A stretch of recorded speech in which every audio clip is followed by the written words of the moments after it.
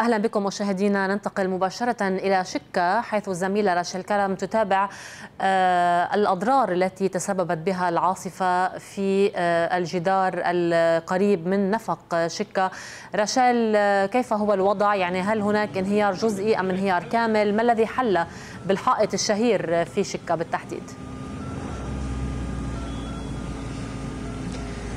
كاترين يعني انت قلتي الحقت شهير لأنه ب 14 كانون الثاني 2019 يعني بعد شهر ونهارين بعيد انهيار شكا سنته الأولى بعدم التحرك بهذا الموضوع. وإن كان يعني لحسب ما عرفناه رح أرجع أحكي تفاصيل ليش انهار وشو انعمل فيه. ولكن خلينا نقول إنه الانهيار جزئي رح نقرب شوي صوب الجرافات بس خلينا نشرح شوي للمشاهدين ورا لأنه كان العمل عم بيصير. هيدي الأتربة نحن عم نحكي عن جبل آه، كاترين آه، آه، مثل كنت عم بقول لك إنه من سنة هو تم الانهيار. هذا الجبل بقي حوالي سبعة أشهر لحديد لحديد أيلول مفترض كانت وزاره الأشغال ولكن تحول هذا الملف بشكل يعني شوي نقطة استفهام إلى هيئة العليا للإغاثة يلي كان آه، مكتب دراسات خطيب وعلمي يلي كان سمير خطيب المرشح للحكومة مكتبه هو يلي عمل الدراسات لهذا الجبل لحتى كيف بده يوقفوا الانهيار تبعوله والدراسات لزمت شركة حميد كيروز لهي تعمل الأعمال. مشان هيك اللي بيعرف هيدا الطريق بيعرف إنه انفصلت. يعني بنشوف طبعا زحمه السير عليه. بنعرف إنه انفصلت آه، الاوتوستراد اللي هو المسلك الغربي يعني من طرابلس من من شكا باتجاه بيروت أقفل وفتحت الطريقة الأخرى بالاتجاهين. هدول التراب اللي عم نشوفهم كاترين بيجوا نتيجة إنه هذا الجبل هو ترابي وبالتالي كل ما عم بتشتت الدنيا عم عم عم تنجرف آه، التربة وتوصل إلى الأوتوستراد. ما بتصور بالكاميرا هلأ قادرين كثير نفرجي الحائط الكبير يلي انعمل تحت يكون في سد. يعني وين عم نشوف هلأ الإضاءة الحمراء للكاميون حده في ال ال ال البلوكيت ولكن البلوكيت العالية لحتى تقدر تمنع انهيار التربة. رح اطلب من المصور سلام إذا قدرنا نفرجي بس هذا المشهد نقرب سوا.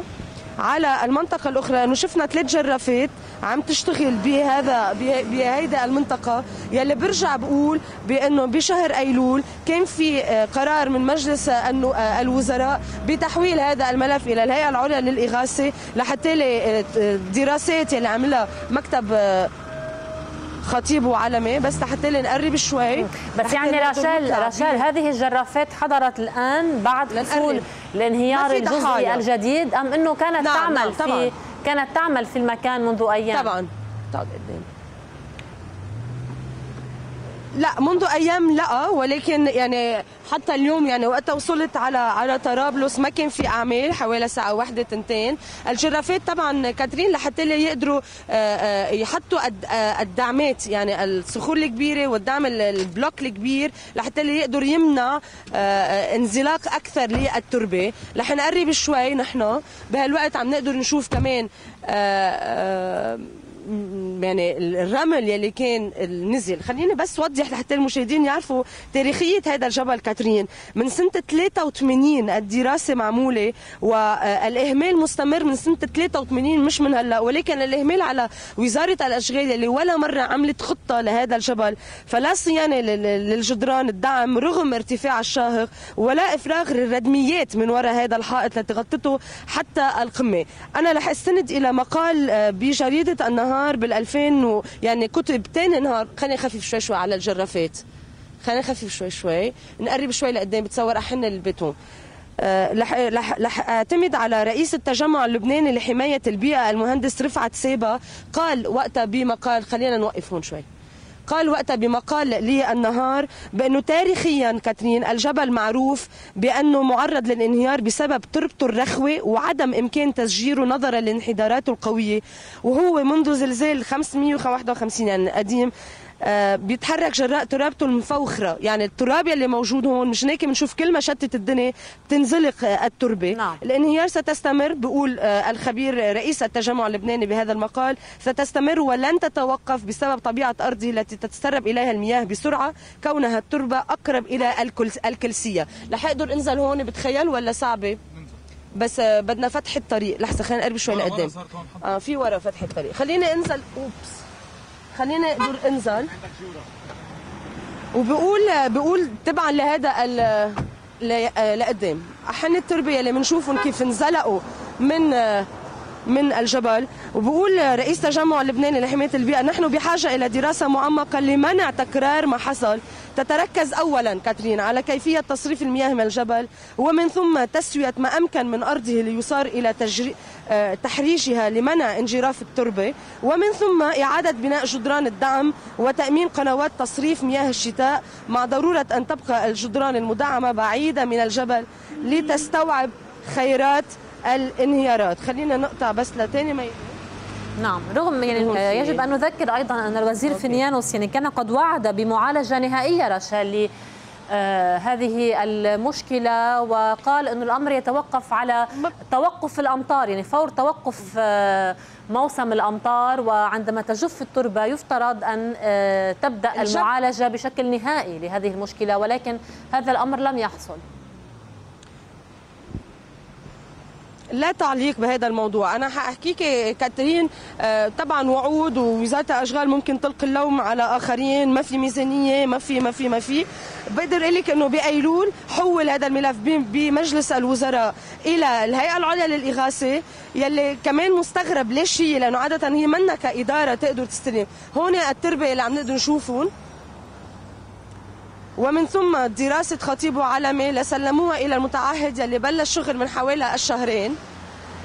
في محل يعني مضحك مبكي بالموضوع. كاترين إنه عادة بنشوف بدول آه، أخرى بيركب جسر ب 48 ساعة وبتركب مليون شغلة بجمعة. ولكن طبعا وقت ما بتكون الأمور أولوية بالنسبة للمعنيين أو إنه على مهله المتعهد أو الشروط بركي اللي انحطت بالدراسة بنقدر نشوف هذا المشهد و... وللمعلومة إنه نحن ب... هون بشمال بطرابلس وبشكا من حوالي يعني على الساعة 3 بلشت تشتي. مش إنه عم نحكي عاصفة ورياح و... وأمطار غزيره لا يعني إذا اللي عم نشوفه هلا هو نتيجة فقط ساعتين من آه، الردم يلي موجود. رح نقرب شوي بعد لقدام.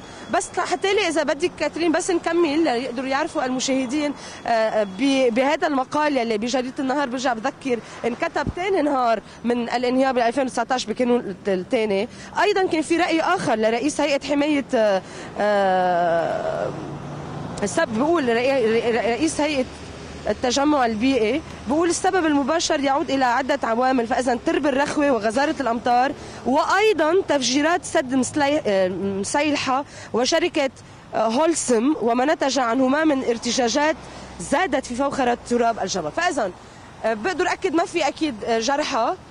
ما في ما يعني هيدا الفاصل اللي موجود على الأوتوستراد قدر منع إنه تقدر تنزل التربة أكثر. ما بقدر حدد صراحة إذا كل هيدي التربة فقط من هذه الشتوة ولكن إذا إذا أعمال الجرافات يلي كانت موجودة وما قدرت حدد أو شوف إذا هي تنقول إذا وزارة الأشغال شالت إيدها من الموضوع فمفترض إنه تكون هيدي الجرافات لكيروز آه، للمتعهد كيروز اللي هو مفترض إنه يقدر ينبت بهذا القضية. أنا تواصلت مع وزارة الأشغال لحتى نستفسر وقالوا لي إنه هي راحت على الهيئة الهيئة العليا للإغاثة. تواصلت مع اللواء خير وقال لي إنه هي بيد المتعهد كيروز. هلأ متى ما تخلص هو حتوقف. هلأ لأنه نحن عندنا قابلين خميس جمعة سبت إلى شتوه كثير كبيرة. كيف بدها تصير التدعيم؟ علينا أن ننتظر كاترين ولكن يعني هذا هو الوضع اللي بقدر أحكي عنه بالوقت نعم. الحالي عن آه، انهيار جزئي أو part معينة من آه، نفق شكا. نعم. شكرا شكرا للزميلة رشيل كرم